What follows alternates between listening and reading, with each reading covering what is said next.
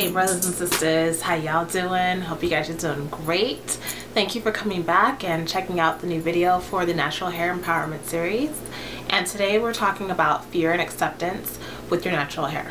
So for those of us who big chopped our hair, or even for those of us who transitioned or are just not used to wearing our own natural hair out and have been wearing it under wigs and weaves our whole lives, the moment when you say, okay, I'm ready to go out in the world and wear my hair out is a big moment and for some of us it's right away like after a big chop we're ready we're out there. But for most of us there's some thought that goes into it like okay um are people gonna be looking at me crazy? Do I look pretty like this? Do I look better like this? Um, what about men? What about my family? You just start having all these thoughts about what's gonna happen when you step out of your room out of your house into the world. So I started thinking, okay, what happened when I went natural and I big chops and I was ready to go out into the world? I embraced it. I just sort of had my hair cut. I was like, this is cool. This is cute. I'm ready to go out into the world. So I remember I went out that day with the guy that I was dating. And after the date was over, he was just like, my goodness, your hair looks so good. He was the one that sort of gave me that like, hey, you should chop off your hair and that was really encouraging and I was really happy to have that. But then he said you know when you said you were going to chop your hair off I thought it was going to make you look uglier so no guys would talk to you. But instead it made you look even more beautiful and now you know I'm just in shock at how beautiful you look.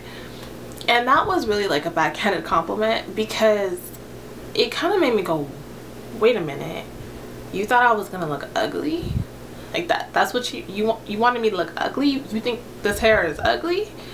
You know and of course you know he was trying to say it actually looks beautiful but just that sort of made me take a step back and think to myself well is it ugly? And I mean that's horrible but that's what I ended up thinking is it ugly? And at the time when I went natural the first time in 2010 there weren't a whole bunch of natural girls. Yes they were on YouTube but in California where I live in Southern California there are not a whole lot of natural girls even now. There's more now but there really aren't a lot. Most girls out here do wear weaves and you know their hair is relaxed. It's not a common thing. I know when I've gone to like Miami and other places I've seen like oh my goodness all these girls are natural. Texas but here that's not the case. So me going out with my hair like that I was definitely a minority. And it took a lot for me to start accepting what my hair looked like and wanting to go out with it. So what I would do is um, I would only wear it out like sometimes. So I would wear it in like a wig or I put like beanies on or hats on and go out that way and then maybe like once a week or something I would wear it out. And I would kind of just gauge okay what are people saying and I noticed that no one was actually like paying attention. They could really care less. It didn't seem like I was having any different interactions with people. Um, it was really okay. And I noticed that I was also like warning people and that's how I knew okay I'm truly not accepting my hair because I was warning people. Like before I would go out to lunch with someone or dinner with someone I would say oh by the way I'm wearing my hair out. Like why am I prepping you for me wearing my natural hair out? But that's what I was doing. And a lot of people especially the guys they um, had this thought in their mind that oh her hair is about to be ugly because they were thinking about the people who had their hair any kind of way and would just, you know, step out the house, you know. So when they would see me, they were like, it looks nice. And I'm like, really? Really? Does it? Does it? And I was waiting for people to say it looked good before I accepted that. And that was really bad. So when I came to that realization, when one day someone asked me to dinner and I was like, okay, I'm wearing my hair out, I thought, no, that's stupid. I'm not I'm not even gonna say anything about it. That's when I started noticing I was doing that and that's when I cut it out. Also too with me, it wasn't the fact that my hair was natural that was hard. It was the fact that it was so short. I wasn't used to wearing short hair and having short hair. Um, I always had braids, wigs, weaves, and so that in itself was actually more of the issue than the fact that it was natural. Um, but either way it was my hair and the moment the moment I stopped caring about what people thought about my hair what people said about my hair that was a moment where I actually started to feel beautiful. That was a moment where I started getting tons of compliments about my hair because I stopped thinking about it. I just completely stopped thinking about it. So the second time that I big chopped, that was not an issue.